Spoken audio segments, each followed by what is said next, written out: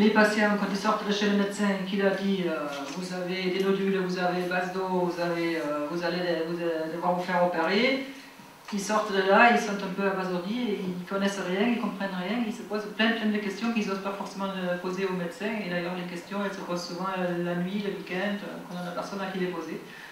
Et donc, toutes les questions, même les, plus, même les plus bêtes, on peut les poser à, d'autres patients, sauf qu'on ne connaît pas forcément parce que la thyroïde, les maladies de la thyroïde sont très fréquentes, mais si on n'en a pas encore parlé autour de soi, on ne sait pas qu'en fait ça concerne à peu près une personne sur dix.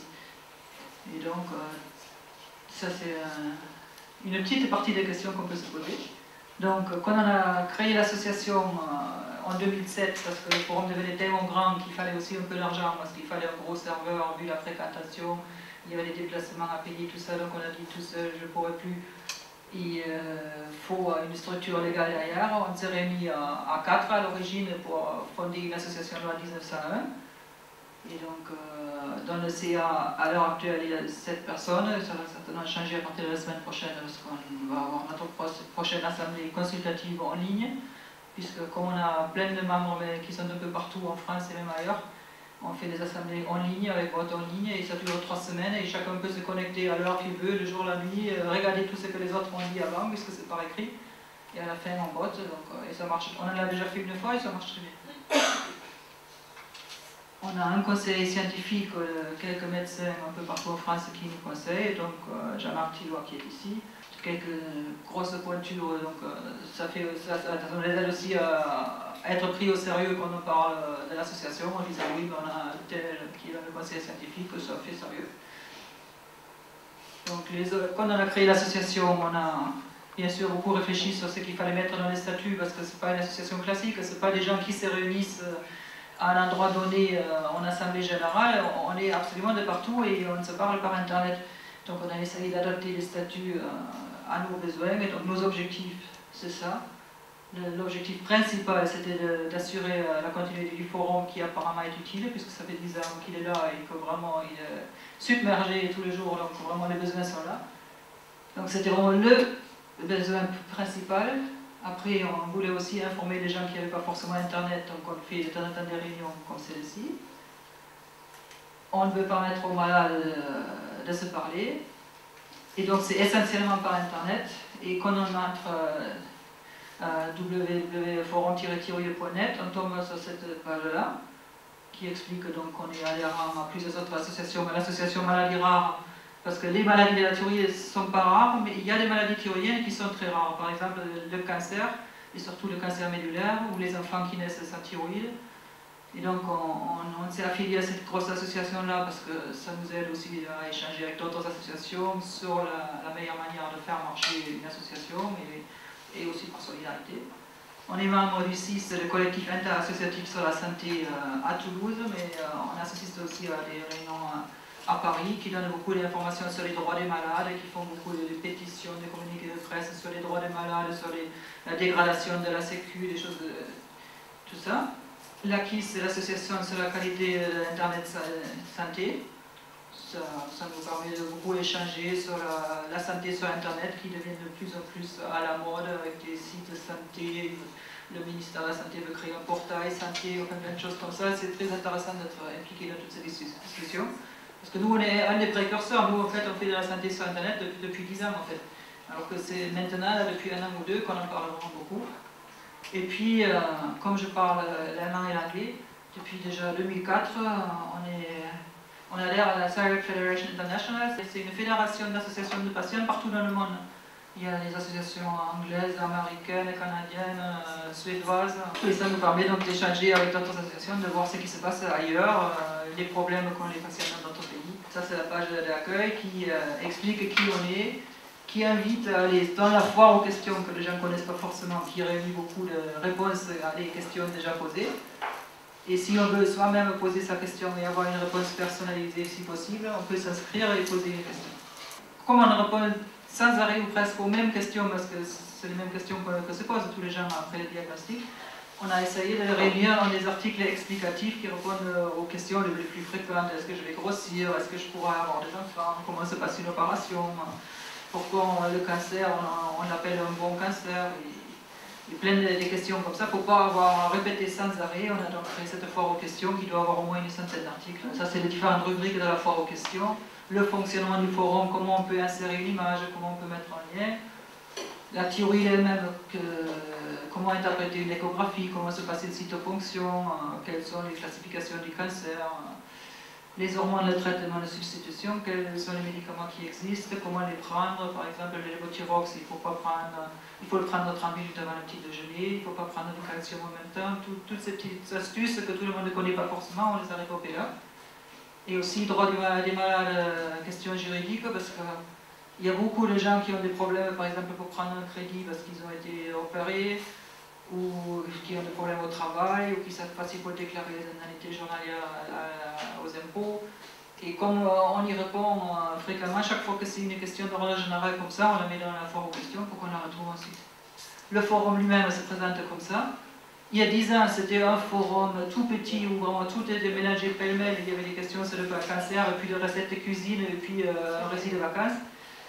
Et en 2004, on a modifié, on a actualisé, on a créé différentes rubriques pour qu'on s'y retrouve mieux. Donc il y a les généralités, quand on débarque, quand on ne sait rien, on, on va là-dedans. Les maladies auto-immunes, c'est-à-dire Hashimoto et Basedow. Non, la même c'est pareil maintenant, Hashimoto et Basedow. L'opération, c'était toutes les questions, comment se passe une opération, combien de temps on va rester hospitalisé, euh, comment traiter la, soigner la cicatrice et toutes ces questions-là le cancer, le traitement de substitution, la grossesse, parce qu'il y a beaucoup, beaucoup de jeunes femmes, soit qui viennent avec des questions pour savoir si elles peuvent être enceintes et quel, taux il faut avoir pour pouvoir l'être, ou alors qu'ils sont enceintes et qui s'angoissent. Les enfants, les adolescents, notamment les enfants nés sans thyroïde, parce qu'il y a un enfant sur 3500 ou 4000 qui naît sans thyroïde ou avec une thyroïde qui ne fonctionne pas. Et les parents l'apprennent après quelques jours, puisqu'il y a les diagnostics euh, postnatal, euh, comment ça s'appelle? Le dépistage à, l'hôpital ils sont évidemment terriblement angoissés quand les médecins les rappellent et disent il faut revenir à l'hôpital, passer des examens, votre enfant n'a pas de thyroïde, c'est la grosse angoisse. Et dans le forum, on a au moins une centaine de personnes sans thyroïde, ça va du bébé à la dame de plus de 60 ans. Et qui racontent leur expérience, qui racontent qu'elles ont finalement eu une vie, du moment qu'on est bien traité, on se développe tout à fait normalement, on peut avoir une vie normale, avoir des enfants. Et ça, ça rassure énormément les nouveaux parents. Donc chaque fois qu'il y a un qui débarque, je lui donne d'ailleurs des liens vers les messages des anciens pour, pour les rassurer, pour leur montrer que c'est pas dramatique comme diagnostic, contrairement à d'autres maladies. Les droits des malades, et puis euh, comme on ne veut pas parler que de thyroïde, il y a aussi euh, une rubrique autre forum, donc qui ne concerne pas la thyroïde. Autre maladie, parce qu'on peut avoir un problème de thyroïde et aussi euh, un problème gynécologique ou n'importe quoi, une autre maladie.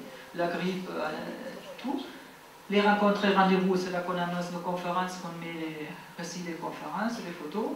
La causerie pour parler de tout, euh, genre recette de cuisine ou n'importe. Les brèves, si on veut annoncer euh, une émission télé ou euh, féliciter quelqu'un. Puis le fonctionnement du forum avec les questions techniques les gens, s'ils veulent, peuvent remplir euh, un profil où on peut indiquer la ville où on habite, la maladie qu'on a, son âge, et entre autres, on peut aussi planter son drapeau sur la carte. Tout le monde ne le fait pas, donc pas, on a beaucoup plus de patients que ça, mais ça montre un peu qu'il y en a vraiment partout. Et on peut soi-même, par exemple, cliquer sur l'endroit où on est et on verra automatiquement qui est à proximité. Ça peut être très intéressant pour se contacter, pour demander euh, Tiens, toi, tu vas chez quel endocrino? Tu te fais opérer où ça peut être intéressant on euh, quand on regarde un peu euh, par les statistiques euh, du serveur d'où les gens se connectent, j'ai été vraiment ébahi l'autre jour. Il y a des pays dont je ne connaissais même pas l'existence. il y a peut-être une connexion par mois ou deux, mais c'est quand même impressionnant.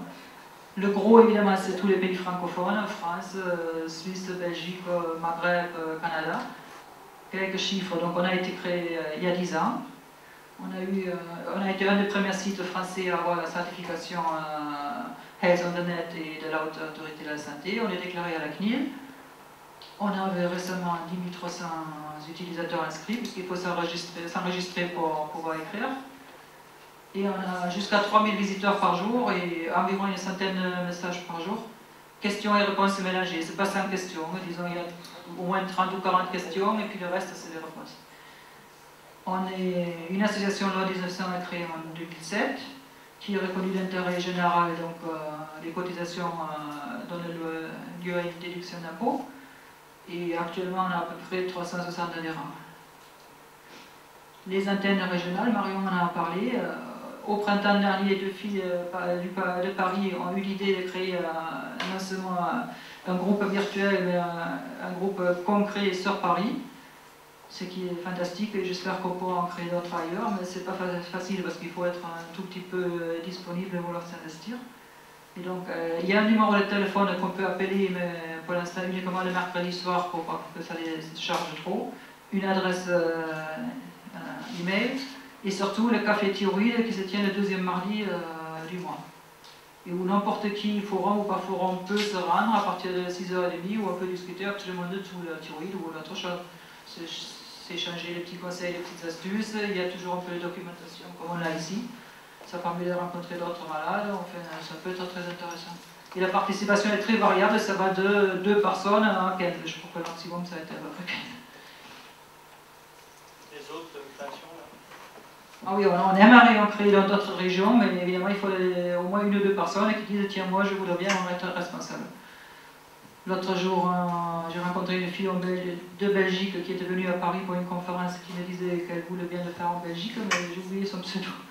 Mais elle va me recontacter, j'espère. Donc l'antenne parisienne s'est réunie dans le pain quotidien à place du marché Saint-Honoré. Et vraiment ça, je crois que c'était la toute première réunion. C'était vraiment très très sympathique. On peut imaginer très bien si on veut, mais on n'est pas du tout obligé. On n'est même pas obligé de, boire. On, a une salle pour nous si on est suffisamment nombreux où on est quand même où on peut discuter on peut boire un verre d'eau si on veut. Et si on veut, on peut aussi sinon manger des, trucs bio qui sont très sympathiques. Et maintenant, beaucoup d'images pour montrer un peu euh, ce qu'on a fait ces dernières années. Donc, c'est différentes conférences qu'on a organisées à l'hôpital d'Antony, une conférence de presse à Lyon, ça c'était dans le PACA, Pignan. En eau, c'est la conférence qu'on a déjà fait deux fois, qu'on espère refaire en janvier prochain avec le professeur Schlumberger de Niger à Boulogne-Billancourt, à l'auditorium sur le cancer de la thyroïde. On participe à quelques événements de bienfaisance, aussi la course contre le cancer de la Ligue, la marche des maladies rares. On a organisé une conférence à Bruxelles. Euh, ça, c'est le dîner, ça. Ça, c'est la salle où on va faire le dîner de ce soir aussi, à la fraise. Euh, on fait les petits verres de l'amitié après les conférences. On a déjà fait des rencontres dans mon jardin. On va ou à Toulouse sur les terrasses, à Pignan. Enfin, donc on essaye toujours de joindre l'utile et l'agréable de faire une conférence et après se réunir entre nous pour discuter plus amplement.